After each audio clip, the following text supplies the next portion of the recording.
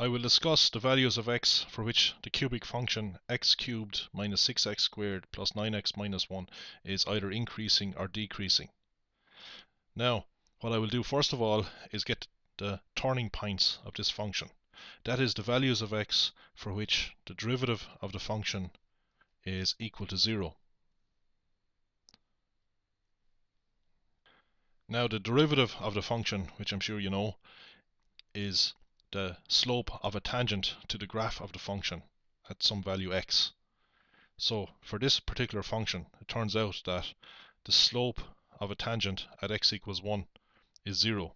We have a horizontal line at x equals 1, and the slope of a horizontal tangent is 0. So f prime at 1 is 0. Similarly, the derivative of f at x equals 3, or f prime at 3, is 0. So we've turning points at x equals 1 and at x equals 3. That's true for this cubic function. Now, um, not all cubic functions have turning points. Some cubic functions don't have turning points. Um, to find the turning points, what we will have to do is solve this equation here. So we differentiate this function. We get 3x squared minus 12x plus 9. Put the derivative equal to 0. We solve this quadratic equation. We can factorize it or use the formula. The solutions you will get are x equals 1 or x equals 3. Turns out that this has solutions, so that means we do have turning points, but it's quite possible, of course, that this quadratic equation does not have, have solutions, so the cubic function has no turning points, so it won't look like this. Um, a cubic function could look like this. You know, this function here has no turning points, which means that the derivative has no solutions. We could then go on and get the coordinates of the two turning points. If we know the x values of the turning points, we can easily get the y values by just evaluating the function at x equals 1 and at x equals 3. If we calculate f of 1, plug 1 into this here, we get 3. So we have the point 1, 3. That's this point here. If we plug 3 in for x in our function, we get the point 3 minus 1. That's this point here. Knowing these two points, we can draw a rough sketch of the curve because this point is higher than this point here, we see that this point here must be a local maximum. Which means that this one down here is a local minimum. Now, suppose we are interested in values of x for which f of x is increasing. Now, what does it mean for a function to be increasing? Well, you need, you need to imagine moving along the x-axis from minus infinity. So imagine walking along the x-axis from minus infinity up as far as plus 1 you will see that the curve is going up. So we can see that for all values of x that are strictly less than 1, the curve is increasing. By the way, this curve keeps moving away from the y-axis indefinitely. Um, it's not approaching some asymptote. So for example, when x is minus a million, we will have some value on the curve. Now let's take a particular value that is less than 1. Let's take x equals a half and go up to the curve and look at the derivative of the function at x equals a half. That means look at the slope of the tangent to the graph at x equals a half. Well, this tangent here has a positive slope. Lines going in this direction have positive slopes. In other words, if we take any point on the curve, increase x by some amount, then y, we need to increase y by a certain amount to meet the curve. So when x increases, y increases. The slope of the curve at x equals a half is the same as the slope of the tangent to the curve at x equals a half, which is f prime of a half, which will be some positive value. If you want to calculate it, you can plug a half in here, you will get some positive number. The bigger that positive number, the steeper this line is, the bigger the slope.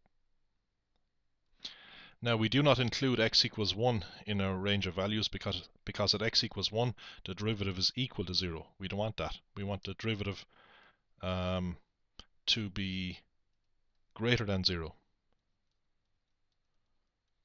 So the condition for f of x to be increasing is that the derivative over that those values of x is greater than 0. So we would be solving this quadratic inequality here. Now, x less than 1 is not the only range of values of x for which f prime of x is greater than 0. You can see that for values of x that are greater than 3, then f of x will be increasing. So again, you need to imagine walking along the x-axis from x equals 3 up to plus infinity. You will see the curve rising or increasing. So let's look at a particular value. Let's look at x equals 4. Look at a particular value of x that is greater than 3. If we look at the slope of the curve at x equals 4, f prime of 4 is greater than 0. We get a line with a positive slope. Doesn't matter which value of x we take that's greater than 3. If we took x equals 7 and went up to the curve, we would have a tangent with a positive slope to the curve. But not at x equals 3. We exclude x equals 3 because at x equals 3 the slope of the tangent is 0. We have a horizontal tangent at x equals 3. So we just circle out that value.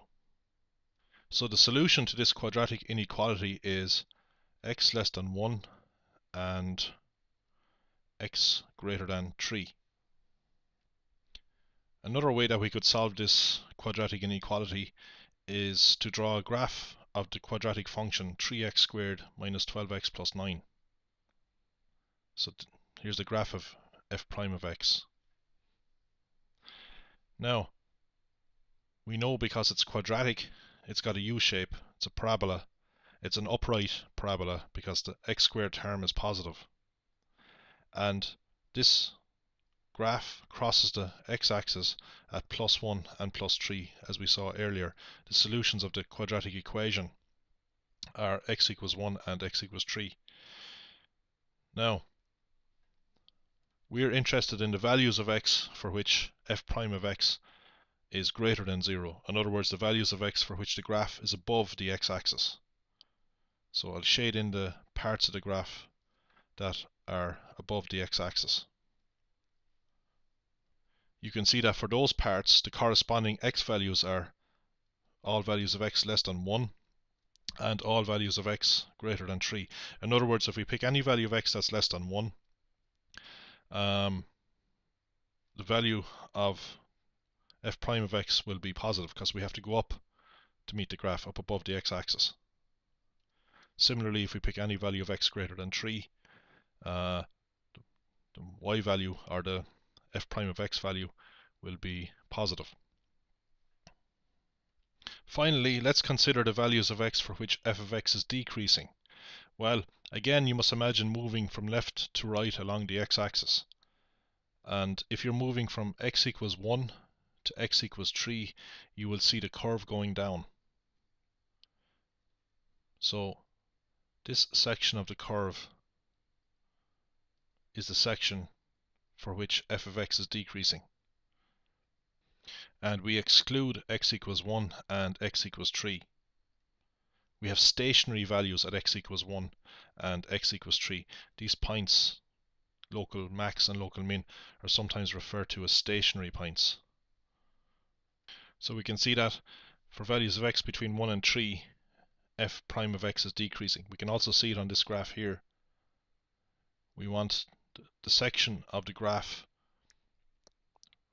whose negative f prime of x, which has negative f prime of x values. So that's the part of the graph that's below the x-axis. And the x values that give a negative f prime of x are these x values here between plus 1 and plus 3.